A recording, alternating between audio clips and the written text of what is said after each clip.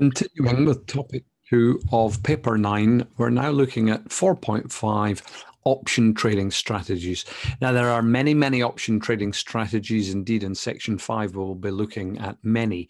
Um, here, we're just considering uh, the buying and selling of calls, puts, and futures to come up with synthetic positions.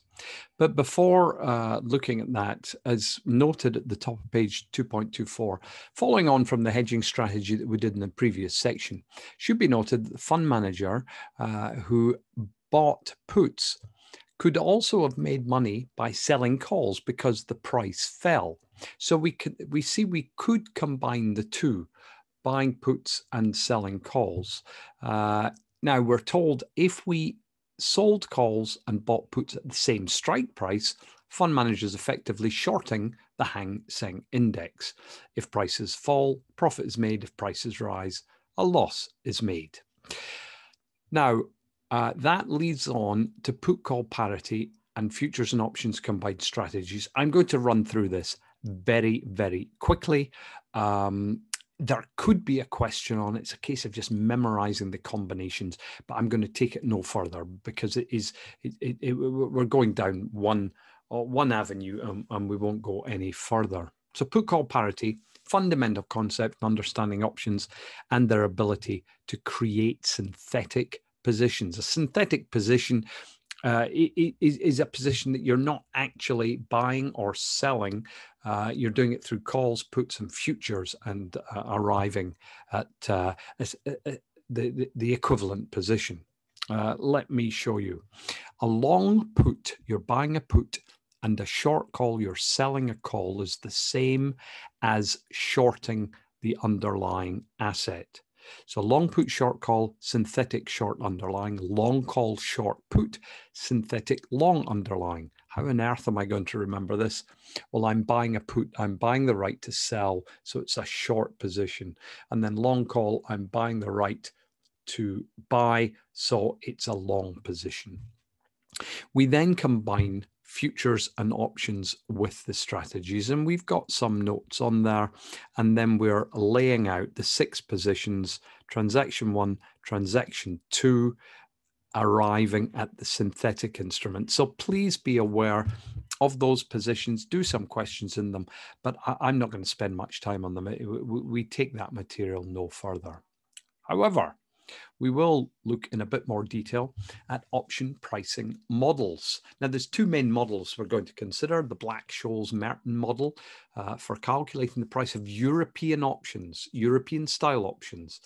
Uh, it is not designed for American style options. American style options are more suited to the binomial model. And we'll look at the binomial model a little later. We start off with the Black-Scholes-Merton model. It was uh, developed in the early 1970s. It's been a significant development in the pricing of financial in instruments. Now, the Black-Scholes model recognizes that there are five variables in arriving at an option price, the price of the underlying asset, the stock price, the time to expiry, the exercise price, annualized volatility of the underlying asset, and the risk-free rate of interest. Now, we were introduced to these earlier, and we're going to do a lot more work on them now. Now, the, the Black-Scholes-Merton model, there it is call option price is equal to the current stock price uh, with a cumulative normal probability of D1 applied to it, minus the present value of the exercise price with the cumulative normal probability of D2 applied to it.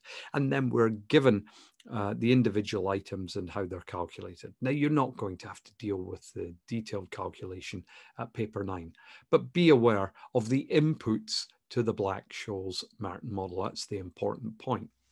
Now on page 2.26, uh, we're alerted to the effect of the variables in the Black-Scholes-Merton model. And we, we've seen this earlier, um, the effect of, of the different elements. So the effect of the spot price, well, the higher the spot price, the higher the value of a call option, the lower the value of a put option. Effective time to expiry, well, with American style options, the longer the time to expiry, higher the value of the option. And that's for both call and put.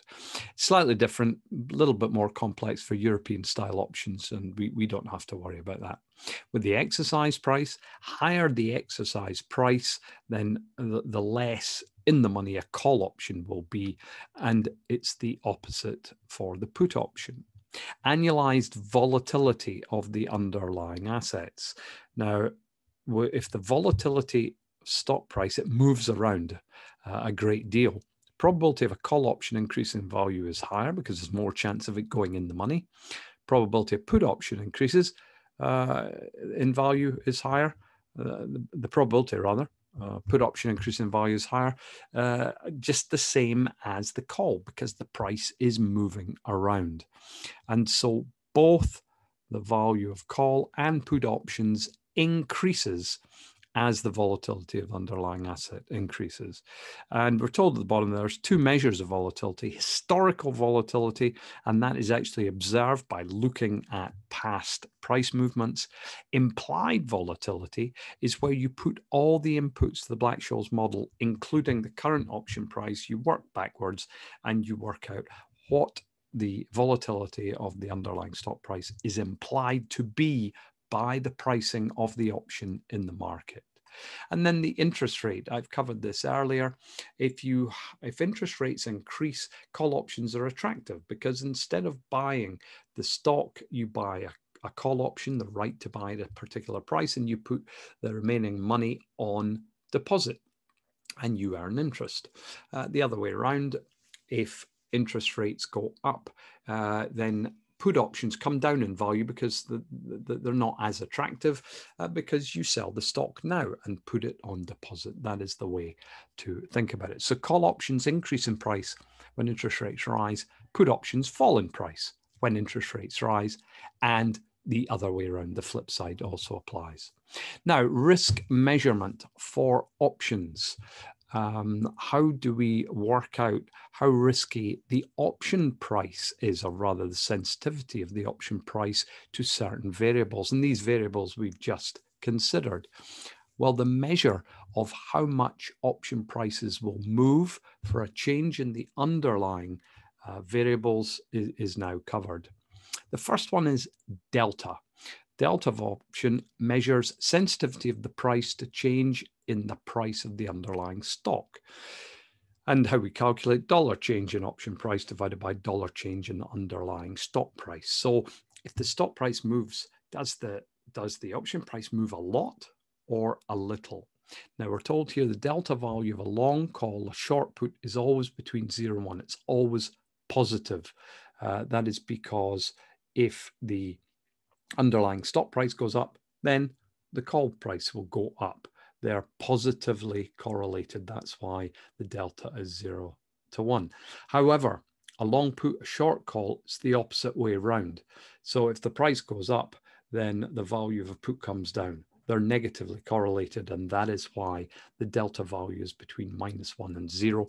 It's negative. So, what is the delta value summary?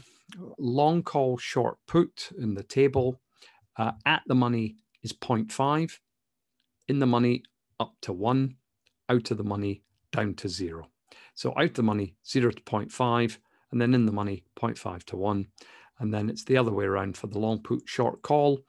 In the money, you're down to minus 1, uh, at the money minus 0.5, and out the money up to 0 between minus 0.5 and 0 just find some way of remembering those relationships. Uh, there is a chance that the, the concept of the delta could be examined. And we give you a delta hedging example. I'll, it's unlikely that will be examined, but it shows the application of delta. Uh, read through that example to appreciate how it is used in practice. Gamma. Now, gamma measures the rate of change in the option delta. So that's measuring how much the delta will change by for a change in the underlying stock price. Now, this is important from the point of view of rebalancing portfolios. As I said, gamma represents the sensitivity of delta to underlying stock price. If gamma is low, delta changes slowly and little adjustments required to keep delta portfolio at the required level. If gamma is large, delta very uh, sensitive to changes an underlying stock price, frequent changes will be required to maintain a portfolio delta. That means you've got to be buying and selling uh, stocks to maintain the delta as you would like it. Vega, the way to remember these is by the first letter. So V for Vega, V for volatility. So Vega measures the change in option price for a 1% change in volatility of the underlying stock price. So there it's the dollar change in option price divided by 1% change in volatility of the underlying stock price. Um, the actual calculations, maybe they examine it. It's more likely they'll be asking you what does Vega uh, measure?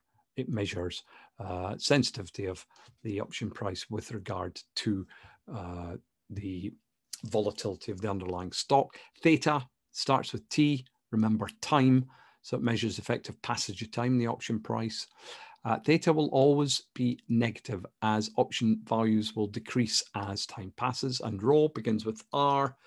R is the risk-free rate of interest, uh, and it measures rate of change in the value of an option with respect to changes in the risk-free interest rate.